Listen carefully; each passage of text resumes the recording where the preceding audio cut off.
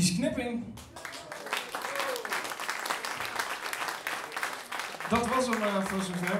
Wij gaan uh, nu soundchecken voor de deelnemers uh, tot en met 30 jaar. Um, geniet van de optredens hiernaast en de markt. En straks zijn wij terug. Even kijken hoe laat beginnen wij hier weer. Om kwart over vier beginnen wij hier met de deelnemers tot en met 30.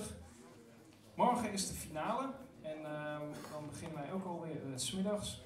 Als er mensen zijn die nog willen meespelen met het plug-and-play gitaarorkest, je hoeft daar eigenlijk alleen maar een D-akkoord voor te kunnen spelen.